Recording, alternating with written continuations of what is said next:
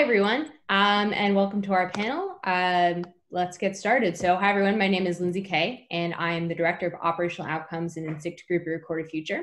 So, today I'll be moderating a panel of Insikt Group analysts from our different teams whose specialties span the technical, geopolitical, industry, and trends tracking areas within the team. Our panelists will be discussing their research and highlight examples of their skill set that aided in that research, what it took to gain those skills, and successful collaborations. So good morning, panelists. Um, I was hoping you could each give an introduction and speak to your background and what you do at Recorded Future. So I guess, Rachael, please start. Morning, everyone. My name is Rachael Mansfield, and I'm a threat intelligence analyst at Recorded Future. I specifically specialize in nation state activity, hacktivism, and also tracking uh, geo geopolitics in the Middle East. Um, prior to my time at Recorded Future, I was an analyst um, within the IC. Uh, how about Lea? Hey everyone, my name is Lea Cure. Um, I am also an Insikt analyst at Recorded Future. Um, I specialize in trends tracking, um, just general trends tracking, um, and I also focus on malware and ransomware um, research. Uh, I have a background in financial intelligence, um, so I worked at a financial institution for three years prior to Recorded Future, and I am located in Boston. Thank you, Lea. And Sherry. Good morning, everyone. Uh, my name is Sherry Huang, and I am also a cyber threat intelligence analyst on the strategic and persistent threats team, the same team as Rachael. Um, and our team focuses on nation state and geopolitical cyber activity. Um, so my area is cyber threats in East Asia, especially with a focus on China. Okay, and, oh, sorry. Yep, sorry. Um, like I was like I have a pretty non-traditional cyber background. Um, and like for the audience out there, especially if you're students, um, like one thing I like to point out is um, sometimes your journey into cybersecurity is non-linear. So for example, like I was an international business major, um, and then I started my career launching like two startups, which both failed and ended up working for Google in Hong Kong and Sydney, um, doing digital advertising, um, which is very different from cybersecurity. Um, but then I eventually decided to pivot into cybersecurity. Um, so I went to grad school for international relations, and that's how I got my foot in the door. Um, so, like, I guess today we'll be talking about a lot of like what brought us here and how that links to what we're going to be doing um, and I hope that would be interesting and insightful for you all. So thank you, Sherry. I'm so glad that you highlighted kind of the different paths to kind of where you are right now and kind of like some of the different skill sets that you picked up along the way. So I mean, each of you really has identified different skill sets that you bring as part of your role on Insikt Group um, doing threat intelligence work. So can you talk a little bit about what your specialty is and what the different aspects of cybersecurity that your skills help you excel at at Recorded Future? Sure. Yeah, I can get started. Um, so, like I said, I do general um, trends tracking and I do a lot of uh, reoccurring type reports. So I kind of send out um, like weekly and monthly and quarterly trends um, to our clients. And so one thing that I uh, love about working with people at Recorded Future is that um, our Insikt group has a range of people with a number of different talents. Like just looking at the four of us here, um, we have skills in a number of different things. Um, and across Insikt, we have people who are uh, really skilled in the dark web, um, in uh, like native foreign language speaking, um, and also with uh, geopol and malware analysis. And so obviously it's impossible for one person to be an expert at all of those things. Um, and that's what's so awesome about our team is that we are able to work with people from other teams. So when I'm doing research and I'm coming across things that are happening on the dark web, I'm able to pull in um, experts who are able to actually help me understand understand what's happening and um, understand the language that they're using. Um, if they're using slang that I am like, what, what does this mean? Um, they're able to step in and kind of help me understand, um, is this a threat? Is this just chatter? Um, and what's really important? and what's relevant um, and actionable. So that's i think what's really really cool about our field and about our team is that we just we have such a range of people who are so intelligent and brilliant in their own ways um, and we can kind of pull at each person and really work together with each other. So um, that's kind of what i valued from having a diverse set of skill set across our team. Um, it's just been really awesome and a awesome experience for me in my career yeah so thank you, Lea. And I know that um, kind of you have the more trends tracking sort of approach. So I'd love to hear from Sherry, who has a little bit more of the geopolitical bent next. Sure. Um, so the skills I frequently employ in my daily work, I would say mostly are geopolitical analysis and Chinese language skills, and sometimes um, con local connections in the region. Um, as we know, a lot of cyber activity, especially by nation states, are motivated by geopolitical events and tensions between different countries. So, understanding the historical and even current state of affairs um, within and between countries, and also the power players within those countries, is um, a really huge advantage to the work that I do. Um, and I think it's a lot easier uh, to be able to co- conduct research in the local language, especially when it comes to China, um, because there's so much more material um, that come out so much sooner in the local language. Um, so that would lend depth into uh, the research that we do. Um, and I'd just like to echo Lea's point that um, nobody can be really good or an expert at everything. So I also really value um, that Insikt group has the different sub teams, each with different specialties and expertise. Um, and I find myself like just jumping on like Slack calls or um, Zoom chats with my colleagues on like Lindsay's team or Leah's team or our dark web team um, to pick their brains and uh, check their hypothesis, like my hypoth- hypothesis with them, um, and also asking them for like insights at into like what they're super good at and that's also really benefited our work. Awesome. Thank you sherry. So uh, rachael you also kind of have some of the more sort of geopolitical bent and i'd love to hear some of your thoughts on this as well please yeah, so um, as I mentioned, I specialize in nation state activity and also tracking geopol um, in the Middle East. And something that I found that we've done really well is our analysis with the convergence between nation state activities, or, you know, specifically within the Iranian APT sphere and also geopolitics.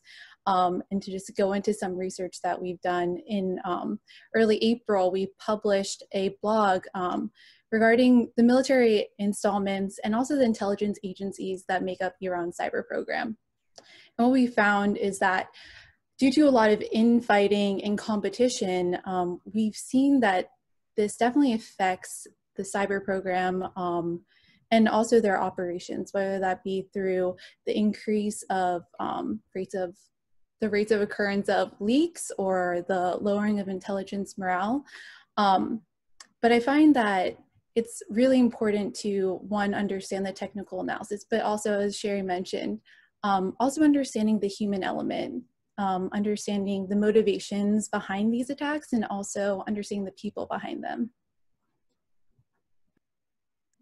Thank you. And I'm so glad that you highlighted um, kind of the people behind them and kind of understanding some of the more geopolitical situation because, you know, we all know that cybersecurity does not happen in a vacuum and there's kind of a lot of things around like let's say just the malware. So we hear you know we all hear news of organizations and individuals being affected by ransomware attacks data leaks and scams but you've all identified that it's clear that what we're seeing is only part of the story. Like there's a certain nuance to all these situations that is highly affected by the geopolitical climate um, world events and what's going on in the industry that drives a lot of these attacks. So um, i was hoping that you know you guys could talk a little bit about an instance where your research has really benefited from this multidisciplinary um, kind of team approach. So, Rachael, you got um, at that. If you'd like to talk a little bit more about that as well.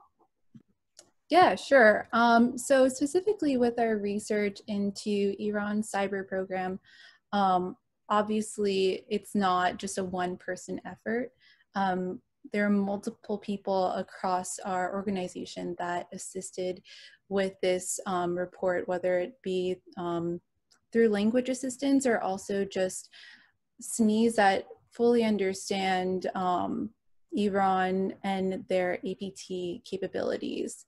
Um, so although we, you know, looked at um, mostly the history and the political structure of Iran cyber program, we also reached out to, you know, um, people across the team. And in addition to this, um, just in my daily work, I track nation state actors. So I'm constantly tracking Middle Eastern APTs. Um, and as I'm not an uh, malware analyst by trade, um, a lot of the times I come across, you know, different malware, um, different malware hashes that I may not understand, um, but I want to further understand. And I know I can reach out to people um, specifically in my team, but also on Lindsay's team, um, who can, one, help me understand what's going on. They can answer my questions, but they can also provide a different perspective um, because as I mentioned um, previously, I specifically come from the IC. So I have,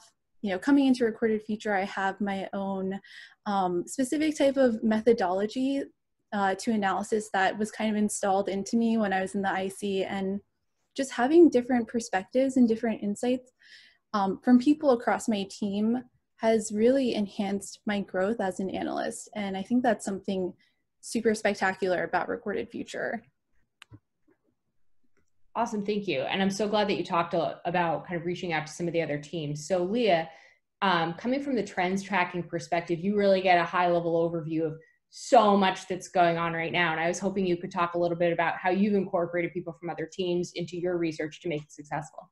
Yeah, absolutely. So um, recently I did a report on um, the top ransomware variants that were um, being discussed in, in 2019. And um, it was pretty interesting because I while I have like a high level understanding of malware and how it works, I'm nowhere near like a malware expert um, and a ransomware expert. And so I was able to pull in um, help from other teams. Um, we have uh, someone at Recorded Future who's brilliant with ransomware. He follows it really closely, and he was able to help me um, do some research and figure out exactly what I was looking for.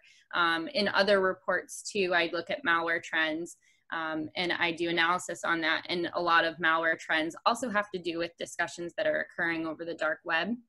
So understanding how they're being um, sold, how they're being shared, um, how that code's being shared. Is it a commodity malware?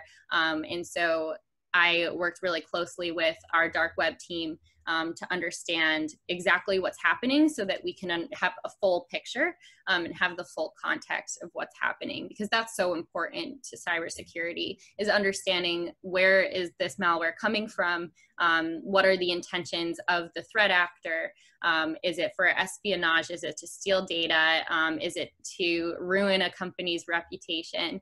Um, and so it's i I benefit from working from other teams so much um, because I have experience in trends tracking, but I'm not an expert on um, reverse malware engineering and all of that. And so um, being able to lean on our teammates is huge. Um, and I I may be a stronger writer than someone who is a really strong malware like reverse engineer. So in we might be able to put our forces together and create a really awesome research piece. So um, that's kind of how I've worked together with other teams, um, and it's been pretty powerful, and I love it. Yeah. Awesome, thank you. Um, so you're you highlighted the kind of like coloring and providing context to kind of some of the work that you're doing by engaging other teams. So Sherry, I know that you've done some Chinese disinformation kind of work. I was wondering if you could talk a little bit about how you were able to kind of enhance that with maybe some of the other teams as well?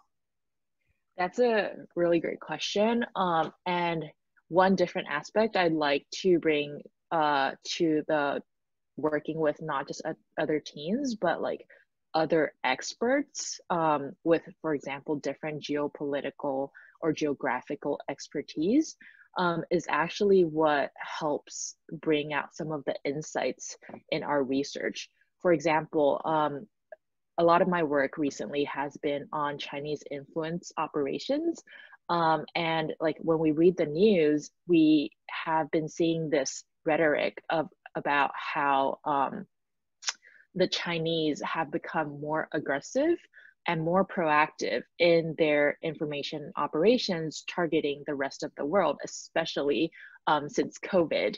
And um, a lot of uh, news pieces say that the Chinese are adopting a Russian like approach um, because in the influence operations world, like we see that the Russians were the like pretty pretty much the first ones to be actively targeting um, other countries and also adopting more aggressive uh, tactics.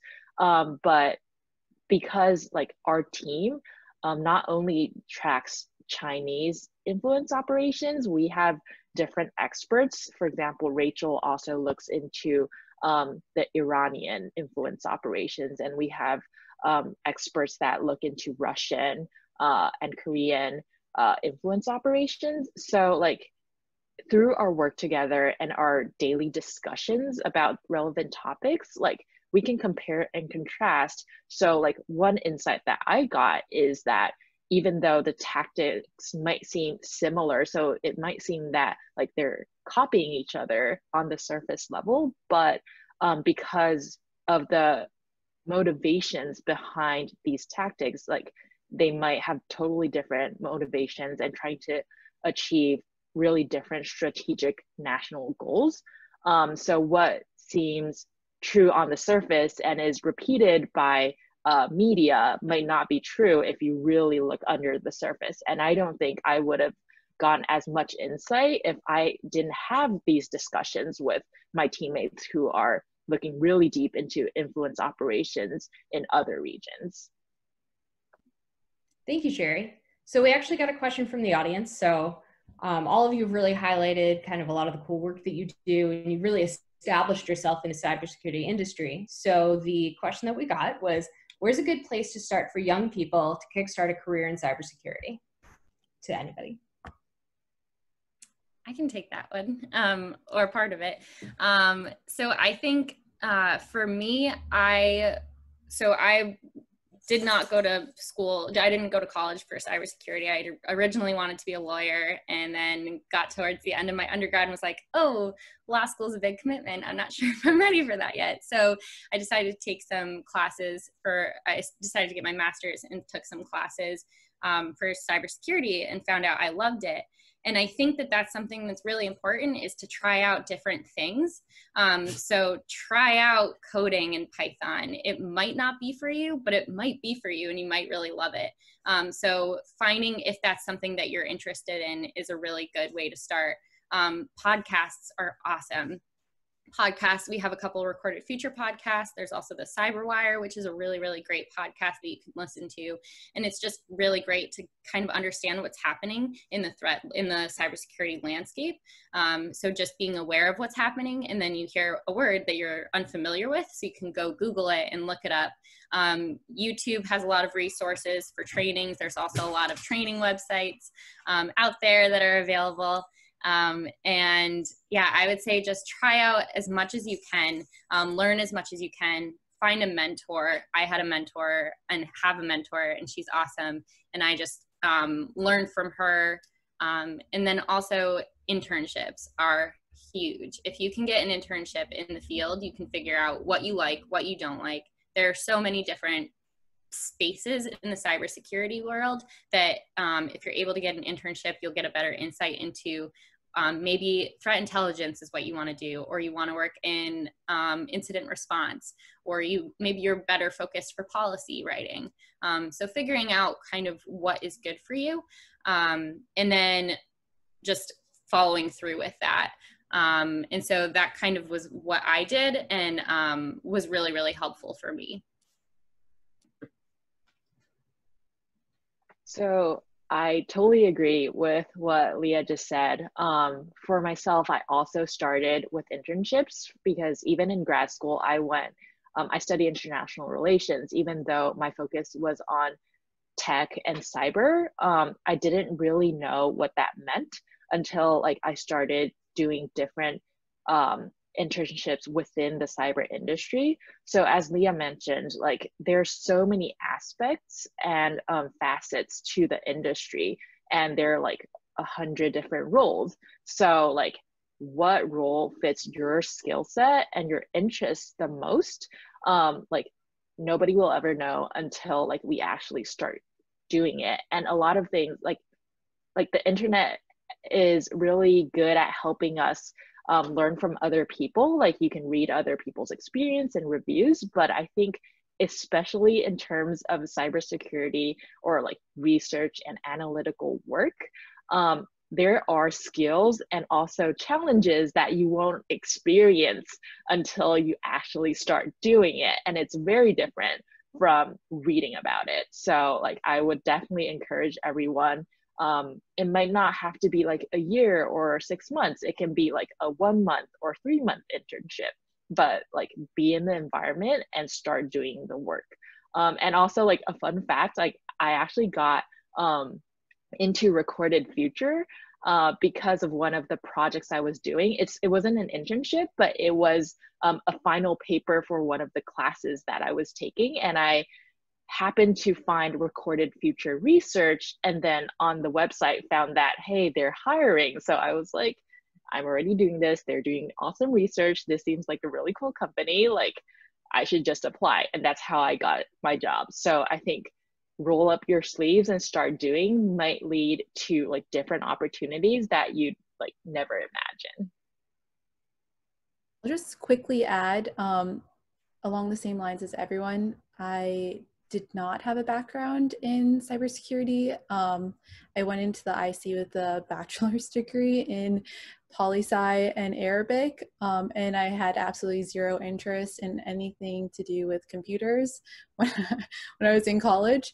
Um, but just being in the work environment I was in, I really developed uh, an interest in cybersecurity.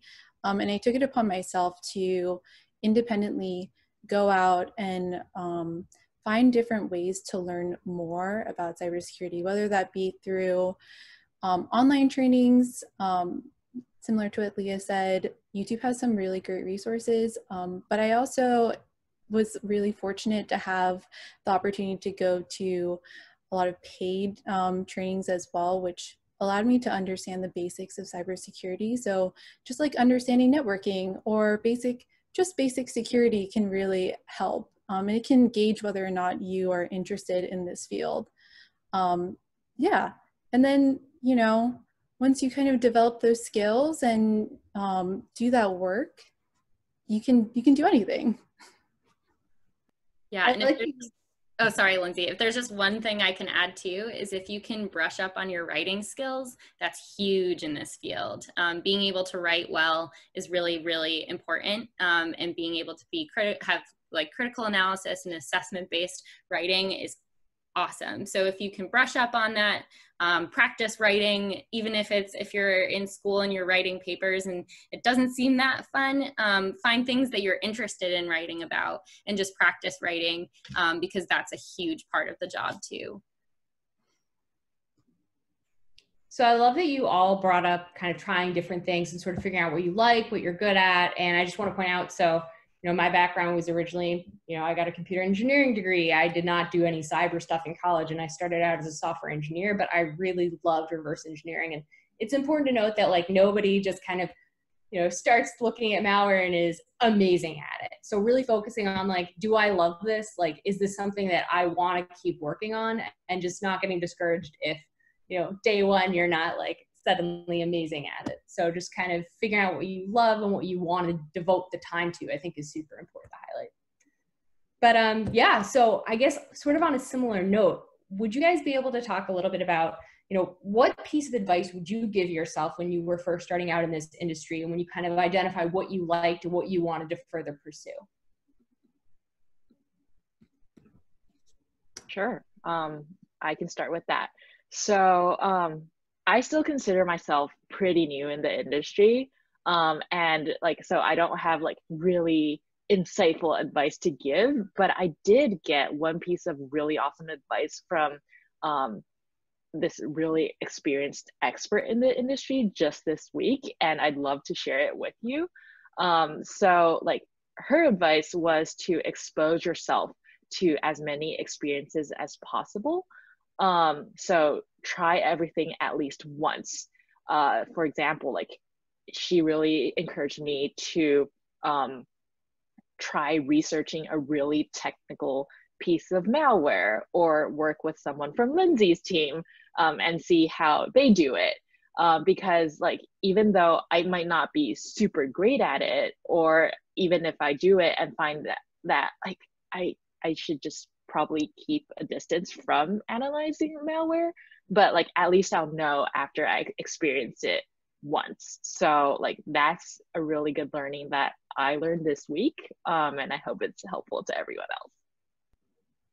To go off of what Sherry said, um, something that I, I guess like I learned once I entered the IC, and I think has been really important um, entering into a new field, is that you should never be afraid to ask questions. Like never be afraid to speak up and ask questions. Um, I think when I graduated from college and I entered into the workforce, um, you're, I think for me personally, it can be really intimidating entering into a new place. Um, you're surrounded by a lot of experts and you might feel a little like scared to ask questions or to look incompetent, which was a main concern of mine. Um, but I find that's really important to always ask questions, always be curious, especially in this field where you only further your analysis when you are constantly asking what else, like what else is new? Um, what does this do? You know, um, so I think for me, I would have told myself, like, never be afraid to ask questions. Yeah. Um, I think two pieces of advice that aren't necessarily cyber focused, but just um, focused on careers in general. Um, one is to network. Networking is huge. Um, the people you know will uh, support you and help you find the job you want and that you'll love.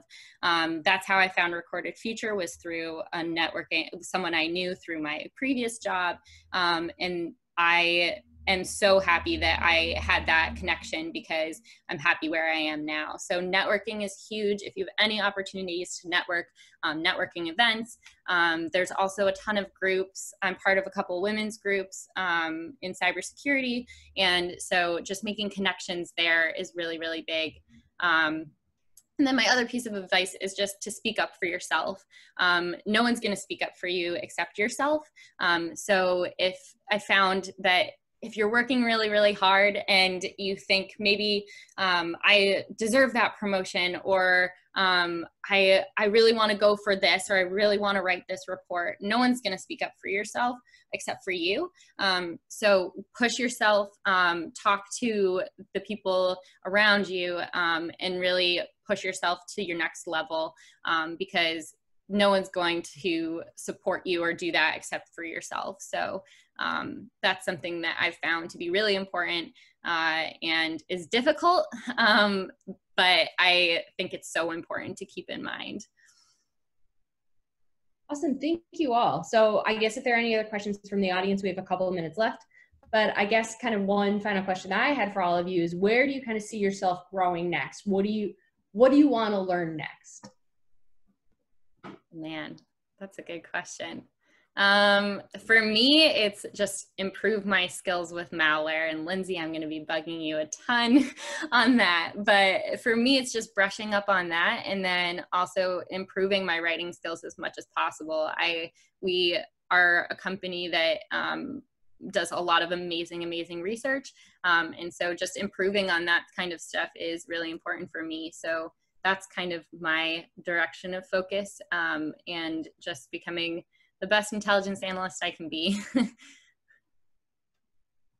yeah, along the lines with uh, Lea, my the thing I'm really trying to go for um, this year, probably next year, is the cert for GREM. Um, so I really do like very focused on trying to be better with malware, um, especially just with the line of work that I'm doing right now. Um, I really just want to understand like what goes in what goes what's behind you know um, different variants of malware and why do you know specific threat actors use uh, specific types of malware. Um, so that's really what I'm trying to go for next. For me, um, it's a bit different. Uh, I think the, a lot of work that we do as analysts is from the bottom up. So often when we think about a cybersecurity problem, we start from um, an IOC, so indicator of compromise.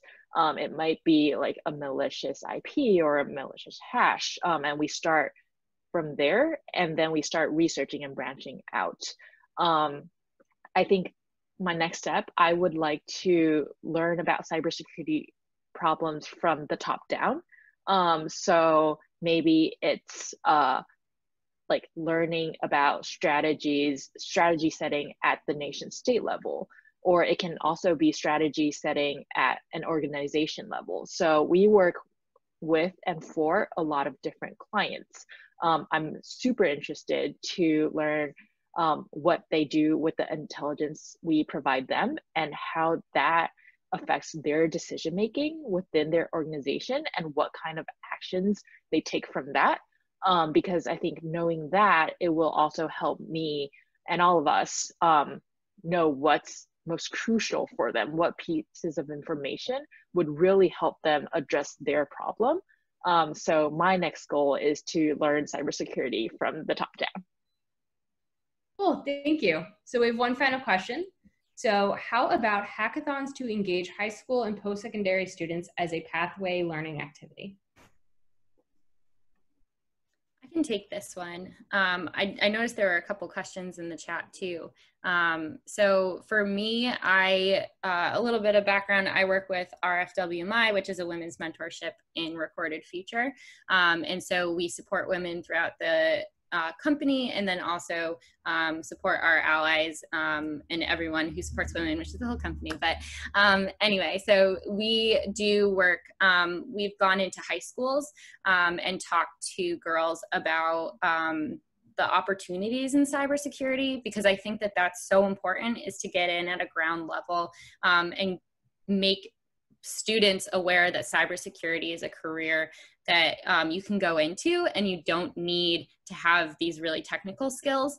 Um, like at, at, Recorded Future, we have people who uh, had a different life in their previous career, um, and then they moved into a cybersecurity field. Into the cybersecurity field, they didn't necessarily think um, that their skills would be able to re- translate well, but they did. Like, for instance, there's someone on our team who is an English teacher, and she's come over to be um, part of the team doing cybersecurity. And you wouldn't really necessarily think that that transition would um, work, but it works so well, and she's a huge asset to our team. Um, I mean, we have people in HR and marketing and sales and recruitment that have these skills that are so important um, to cybersecurity and it's just getting those skills in. So i think doing hackathons to engage high school students and post-secondary students is huge.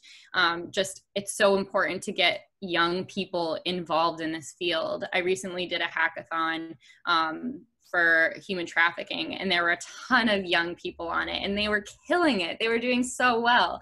Um, so i think having that those types of opportunities um, are really awesome and if you can find them there's a ton of hackathons especially right now with everything happening remote um, they're a lot of them aren't being canceled they're being put on virtually which is a really great opportunity because not only does it open it up it opens it up to people worldwide. So um, you might not have been able to attend it because you couldn't fly there or you couldn't drive there but now you can attend a uh, hackathon that might be put on that was supposed to be put on in london but you can attend it virtually. So look into hackathons. I think that those are a really really great way to meet people and get experience. Okay, so I think we are about out of time. Um, so thank you all for coming and thank you all for, you know, doing an awesome job talking about your research and your skills and um, I guess how, how to get where you are. So I really appreciate the time and thank you everybody else. Thank, thank you, you everyone. Everyone. Thanks.